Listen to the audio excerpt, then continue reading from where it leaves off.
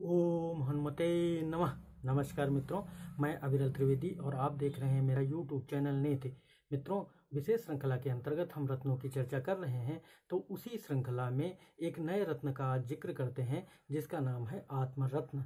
अर्थात आत्म प्रकाश मणि या आत्म रत्न मणि या आत्म मणि या आत्म रत्न जो भी आप कहना चाहें कह सकते हैं। ये एक विचित्र किस्म का पत्थर है, अति दुर्लभ है और कुछ लोग इसको कहते हैं कि ये लुप्त हो चुका है, अब धरती पे नहीं मिलता, लेकिन कहीं कहीं इसका ज़िक्र आता है। हिंदू पौराणिक ग्रंथों में एक विशेष प्रकार के रत्न का वर्णन किया गया है, जिसे आत्मरत्न कहते हैं, जो एक चमत्कारिक लाभ देने वाला रत्न है। माना यह जाता है कि यह एक चमत्कारिक लाभ देने वाला पत्थर है यह अंडाकार होता है। इस रत्न को सोने या चांदी में जातक धारण कर सकता है, पहन सकता है। ऐसी मान्यता है कि यह रत्न किसी दिव्य आत्मा से जुड़ा हुआ होता है, और यह दिव्य आत्मा इसके धारण करने वाले की रक्षा तो करती ही है। चमत्कारिक रूप से धारक की जितनी भी मनोकामनाएँ होती हैं, उनको पूर्ण करती है। इसे गौर से देखने पर इसकी रेखाओं में गति दिखाई पड़ती है। विदेशों में आत्मा बुलाने के लिए इस रत्न का प्रयोग करते हैं।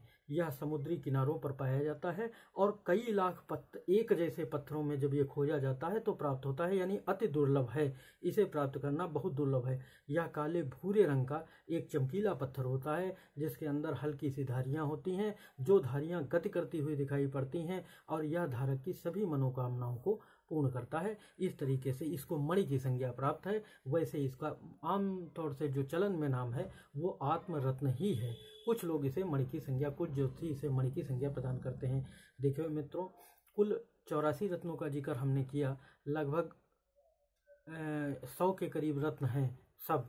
सब सौ के करीब रत्न हैं, जिनमें नौ मुख्य रत्न हैं, जो कि नौ ग्रहों से संबंधित हैं, पचहत्तर उनके उपरत्न हैं, और इसके अलावा कुछ अन्य मान्यता प्राप्त रत्न के रूप में जो है पत्थर हैं और रत्न हैं, जिनको कि हम रत्नों की उपाधि देते हैं, उपरत्नों की उपाधि देते हैं, और जिनकी संख्या कुल सौ या सौ के भी ऊपर है, जिसमें से कुछ लुप्त कुछ लुप्त प्राय कुछ अति दुर्लभ, कुछ दुर्लभ और कुछ अप्राप्य हैं। ऐसा माना जाता है। तो उन्हीं में से ये आत्मरत्न एक ऐसा रत्न है जो बहुत दुर्लभ है और बहुत ही कम उसमें पाया जाता है। समुद्री किनारों पर पाया जाता है। भारत में भी इसके पाए जाने के प्रमाण मिलते हैं। ग्रंथों में, शास्त्रों में इसका उल्लेख है। आमतौर से ये बिक्री के लिए उपलब्ध नहीं है।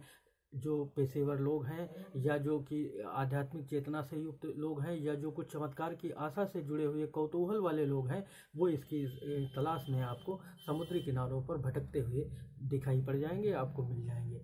तो रत्न की श्रृंखला में आज यहीं तक।